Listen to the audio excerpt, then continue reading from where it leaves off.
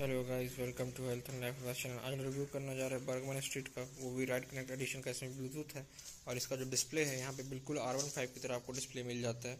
यहाँ पे सुजुकी की ब्रांडिंग की हुई है। यहाँ पे आप देख सकते हैं कि दो मोड दिया गया है। इसका जो जो डिटेल्ड रिव्यू है राइट का, वो मैंने एक अलग से वीडियो डाला हुआ है, आप उसको भी चेकआउट कर सकते हैं। वो भी आपको आई बटन में मिल जाएगा। और ये जो स्कूटी है, बहुत ही मतलब स्टाइलिश है और बहुत ही यूथ को अपीलिंग करने वाली है। और आप देख सकते हैं कि इसका जो यहाँ पे पीछे का पिलियन का फुटरेस्ट रखने फुटरेस्ट रखने का, वो काफ़ी अंदर ऐसे मुड़ा हुआ रहता है। तो फुटरेस्ट वगैरह आप अंदर रख सकते हैं। और यहाँ पे आप देख सकते हैं कि यहाँ पे आपको किक स्टार्ट भी मिल जाता है। यहाँ पे आपको इंटीग्रेटेड मिल जाता है सब कुछ। इंटीग्रेटेड बटन है स्टार्ट करने के लिए किल स्विच में ही। यहाँ पे आपको सामान रखने का जगह मिल जाता है। यहाँ पे आपको की का स्लॉट मिल जाता है विथ जैसा कि आपको होंडा में मिलता है। यहाँ पे जो की होल है उसको आपको शट करने का ऑप्शन मिल जाता है। यहाँ पे आपको हुक मिल जाता है। हुक हुक में आप सामान लटका सकते हैं उसके लिए। और उसके साथ में आपको यहाँ पे ये भी मिल जाता है। साइड में एक और यहाँ पे हुक मिल जाता है नीचे में।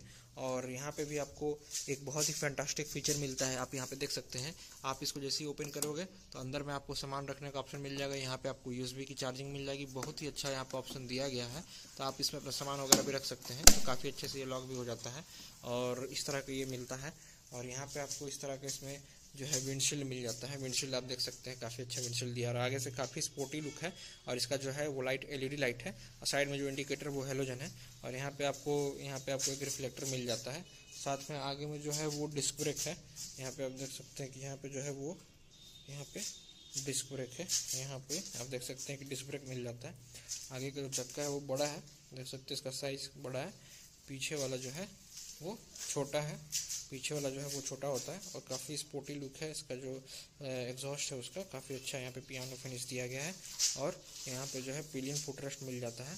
आगे आपको इस तरह का हैंडल यहाँ पे मिल जाता है और यहाँ पे आपको हॉर्न पे आपको ऑन ऑफ़ करने का स्विच है, यहाँ पे इंडिकेटर का, यहाँ पे हॉर्न का और यहाँ पे भी आपको सुजुकी की ब्रांडिंग मिल जाती है और यहाँ पे जो है सीट वो काफ़ी अच्छी है। यहाँ पे आपको स्टेप अप थोड़ा सा सीट मिल जाता है। पीछे वाला थोड़ा ऊपर बैठते हैं, ये नीचे मिलता है।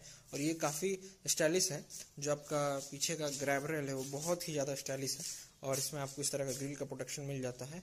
और यहाँ पे आपको जो अगर लेडी बैठी हैं तो उनके लिए फुट रेस्ट रखने का मिल जाता है। और यहाँ पे कुछ इस तरह से आपको सारा एकदम कलर वगैरह फिट फिनिश बहुत ही अच्छा है। तो ये काफ़ी यूथ को अपीलिंग है। मतलब बाकी स्कूटी से ये काफ़ी ज़्यादा स्पोर्टी दिखता है, काफ़ी ज़्यादा स्टाइलिश दिखता है और काफ़ी अच्छा है क्योंकि इसमें जो इंजन यूज़ हुआ है वो एक्सेस का यूज़ हुआ है। यानी 125 सीसी का इंजन इसमें यूज़ हुआ है एक्सेस का और इसको काफ़ी स्टाइलिश बॉडी दिया गया है। तो एक्सेस से ये बहुत ज़्यादा स्टाइलिश है, उससे ज़्यादा महँगा भी है।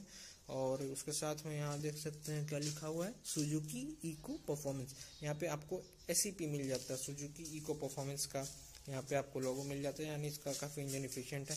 यहाँ पे आप देख सकते हैं कि इसका जो लुक है बहुत ही सही है। यहाँ पे नंबर प्लेट के लिए भी एक लाइट दी गई है। तो काफ़ी यहाँ पे अच्छा से ध्यान रखा गया है। एक इसमें डिमेरिट ये है कि आपको फ्यूल भराने के लिए बार बार उतरना पड़ेगा, क्योंकि फ्यूल वाला इसके अंदर में है सीट के अंदर में है। वो इनको बाहर देने का काम था, लेकिन वो अंदर ही दे दिए हैं। तो सीट ओपन करके आप जा सकते हैं फिर। और इस तरह का काफ़ी अच्छा लुक है इसका।